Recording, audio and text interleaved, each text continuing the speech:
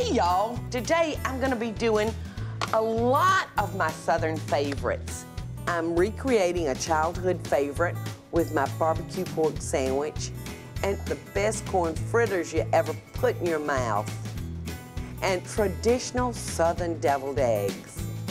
And then it's Corrie's Kentucky pie. So grab your sweet tea and get ready to enjoy my Southern favorites. We're gonna start with a simple barbecue pork sandwich. I'm gonna start with a four pound shoulder pork roast. And we're gonna make a dry rub. And our dry rub consists of two tablespoons of salt. Now I'm gonna use two tablespoons of dark brown sugar. Now that's dark brown, not the light brown. The dark brown sugars had the molasses left in it. All right, and our next ingredient to go in our bowl is two tablespoons of black pepper. You know, this is gonna have a little kick to it, but sometimes we like to be kicked down here in the South. Sounds crazy, doesn't it? The next ingredient is paprika. I'm gonna put in two tablespoons, and I'm just gonna eyeball that and I'm gonna use a half a tablespoon of garlic powder. And then the last thing I'm putting in is cayenne pepper.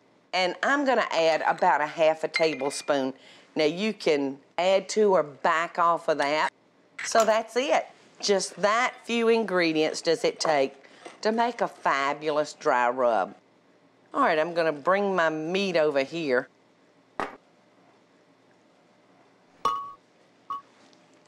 And I'm gonna just very liberally sprinkle him with this dry rub. I'm not gonna let this hand touch the pork because I'm not gonna use all of this rub today. I wanna save it for the next time I'm needing a dry rub. Now, all we're gonna do is just cover him up with a plastic wrap, pop him in the fridge, and we're gonna let him marinate for about two hours. All right, so let's pop him in, and I'm gonna have to stop at the sink and wash my hands because, you know, I got all that cayenne pepper on me, so I sure don't wanna accidentally put my hands to my nose or my mouth. So you'll wanna make sure all that cayenne is gone from your hands. All right, now while we're waiting on our shoulder to marinate, I want to show you how to put together a corn fritter. I'm going to start by cracking two eggs. And I'm going to add one cup of milk. Just kind of beat those together. All right, I've got a 15.25 ounce can of corn. I'm just gonna let it be draining while we're mixing together our dry ingredients. Our dry ingredients are one and a fourth cup of self-rising cornmeal mix. It's got all your leavenings in it, plus it's got some flour in it. So one and a fourth cup of self-rising cornmeal mix. Now we're gonna add all-purpose flour. And I am gonna add a cup and a fourth also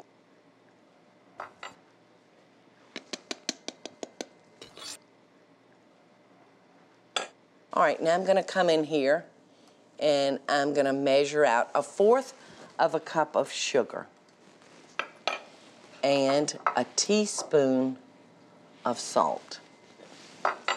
All right, so our corn has drained nicely.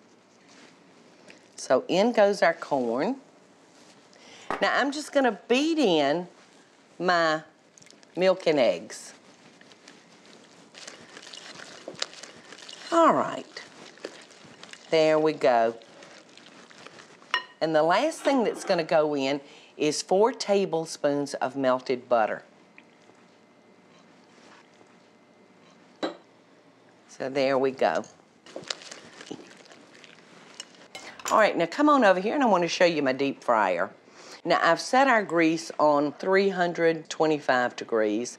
I don't want my grease to be so hot that my fritters are gonna get too brown on the outside and still raw on the inside.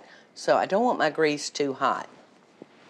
Now over here I have a cup of water and you'll find that if you'll dip your spoon in water and then dip into your batter, that it'll come off of your spoon without you even having to touch the batter.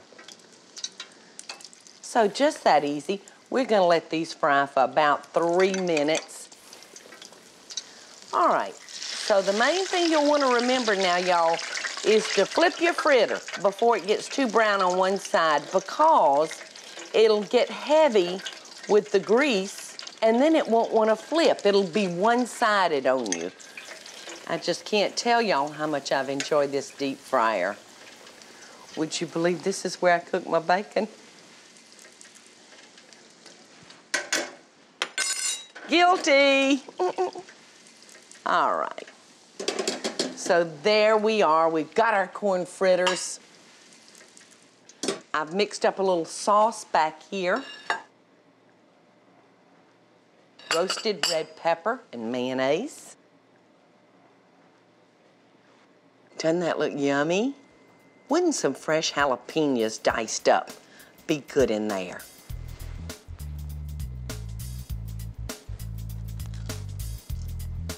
Mmm. Oh my goodness. They're so good, y'all. Mmm. Guess what's coming up in this kitchen next? The devil's gonna try to come in my kitchen. But that devil is coming in the form of a southern deviled egg. And we're gonna finish up that yummy pork roast sandwich. And later, it's my niece Corrie's Kentucky pie. I so hope y'all are enjoying the show. And if you do, be sure to click like, subscribe, and the notification bell so you'll never miss a video. And we'll be right back after the break. Hey, y'all, welcome back. I'm so glad y'all have joined me in the kitchen today, and I hope that you're enjoying the recipes that I'm preparing for y'all. In case you've just tuned in, I mixed up a dry rub and I took a four pound pork shoulder roast and I rubbed him good with that dry rub. We put him in the refrigerator and let him marinate for two hours. Now I'm gonna make us a delicious pulled pork roast sandwich. I'm gonna add two cups of apple juice or you can use apple cider. Now I'm gonna pour in one cup of apple cider vinegar. And the next ingredient is Worcestershire sauce. Now I'm gonna put in two tablespoons of the Worcestershire. And now I'm gonna add one tablespoon of liquid smoke. And this is gonna come out resembling barbecue pork roast that you would cook out on the grill because we've got our liquid smoke here and we've got our apple juice giving it like an apple woodsy taste. And I'm gonna cook it until it just pulls apart. All right, so a quick stir on our wet ingredients. I'm gonna just sit our roast down in our pot. Now I'm gonna cover him with tin foil. I've got my oven, y'all, preheated to 325 degrees, which is kind of a slower heat. Now I'm gonna put the lid on him, fastening down real good. Now I'm gonna put him into our preheated oven and I'm gonna let our pork roast cook for four hours. Oh, and this is so heavy. Oh, that's like a workout. All right, now let me step down here and wash my hands because I've been touching that pork. And then we're gonna move on to another food that we just love down here. And that's a southern deviled egg. You know, I can't stand a skimpy deviled egg. So to ensure that I always have plenty of filling, I boil me off one extra egg. And then I take that egg and I mash him up and I just mash him as fine as I can get him using a fork so that no one will see the white in our deviled eggs. All right. Now I'm just gonna take my other six eggs, slice them. Look at that. I lucked up with that one. The whole yolk just came right out, leaving me a nice clean shell. All right, maybe we'll get lucky again. Well, we got half lucky. half of it came out. All right, so we're just gonna pop him out.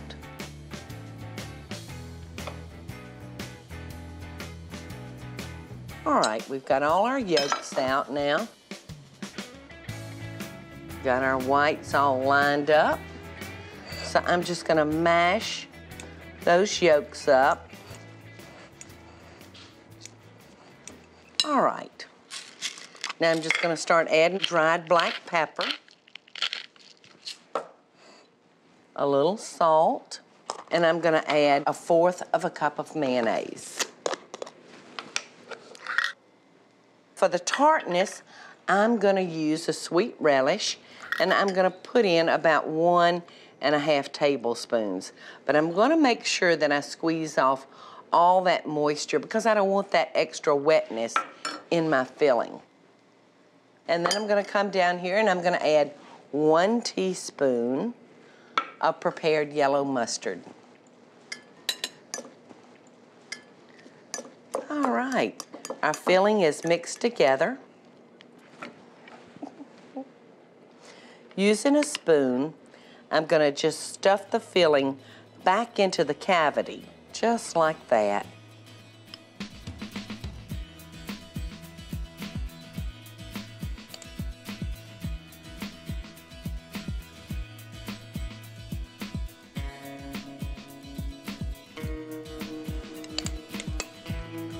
All right.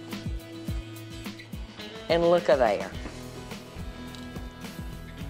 Is that like just perfect?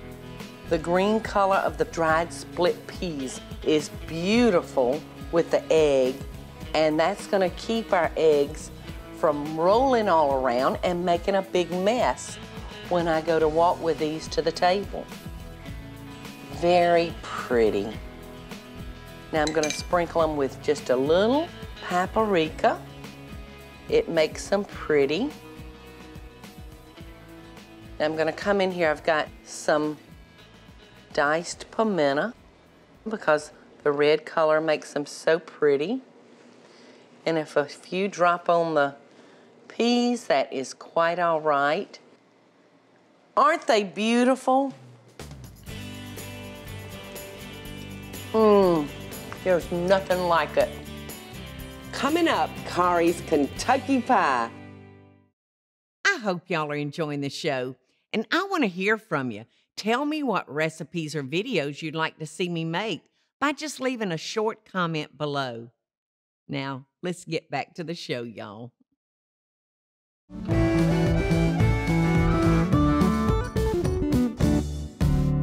Hey, y'all, now I, just took our pork shoulder roast out of the oven. Oh, gosh, let's bring it around here.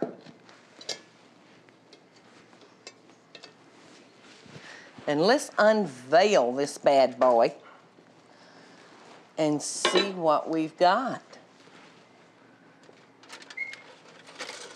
Look how good that does look.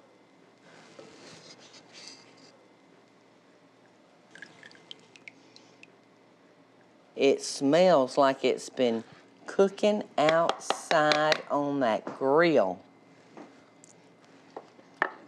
Mmm. Mmm. What flavor it does have. Well, come on down here, y'all. Because I can't let the day end without us making a dessert. Now, I've got a 12 ounce package of semi-sweet chocolate morsels that I melted in the microwave. So we're gonna put these in a larger bowl. This is one of the pies served in Louisville, Kentucky on Derby Day. And I can understand why. This is one of their favorites. Oh, too bad. I think this is going to require a finger licking. Mmm.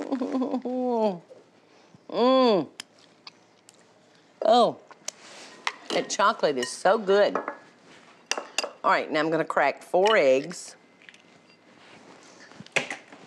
and just dump them in there with my chocolate.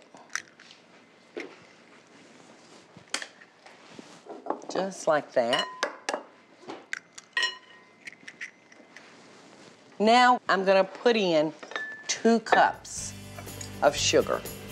And this recipe is gonna make two pies, which is great. I'll have plenty for everybody. Now I'm just gonna mix together our ingredients.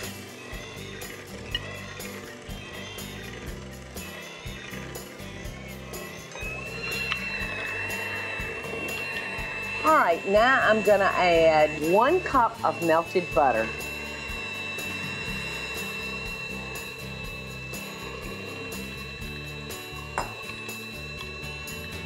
All right, now I'm gonna add cup of sifted self-rising flour.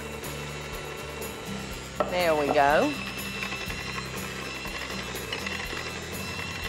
So this pie mixes together very, very quickly, y'all. All right. Now I'm gonna toss in a couple of teaspoons of vanilla flavoring.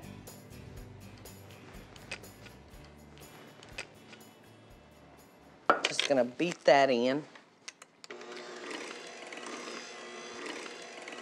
All right.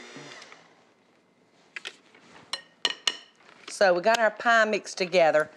Now I'm just gonna stir in our two cups of chopped pecans.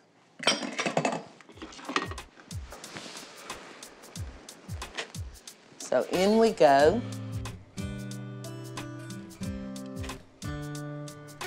We're just gonna stir those nuts into our pie batter. So I'm just gonna divide this batter now among my pie shells.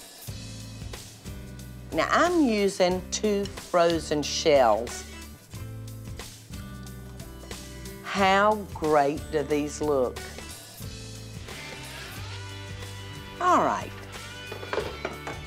Into the oven our pies go. We're gonna let it bake on 350 for anywhere from 50 to 60 minutes. And when we come back, y'all, and we're gonna make a delicious pulled pork barbecue sandwich. I so hope y'all are enjoying the show. And if you do, be sure to click like, subscribe, and the notification bell so you'll never miss a video. And we'll be right back after the break.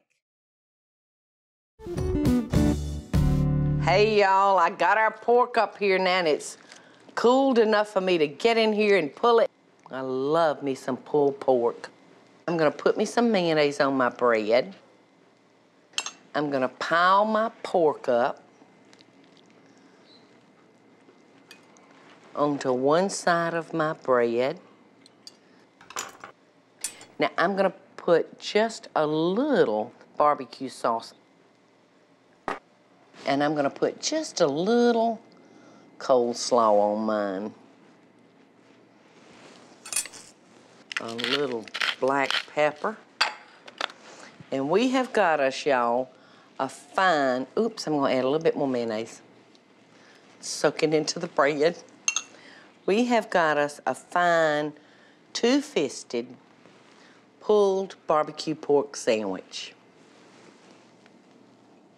And it's pretty good, y'all, with a pickle, too. But I'll get me some pickles later. I'm gonna take my sandwich and I'm gonna come down here because I want y'all to see these Kentucky pies. Now, these are cooled. I got one poofy pie and one on the skimpy side. So I have to tell you what I'm gonna do with the skimpier pie. I'm gonna put it in the back and I'm gonna cut this poofy pie. Oh, excuse me, Bodine. All right. Remember that trick I taught y'all about snipping through the tin foil? Well, I'm just gonna be able to do that with my knife. Pull that down and come in here and get my piece. Now over here on our plate, I'm gonna place my pie. I've Also got ice cream here, y'all. Bodine just said ice cream, that settles it. All right. Ice cream it is, Bodine. Personally, I don't see anything wrong with a little whipped cream either. On with our whipped cream. And always, always your vegetables. Doesn't that look good? All right, y'all. Mmm. You just want to eat this among friends because it can get kind of messy. All right, let's come in here.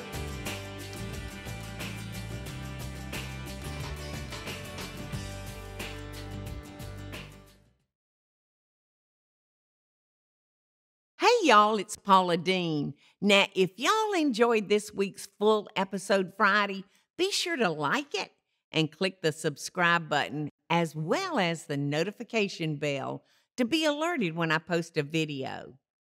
Love and best dishes, friends.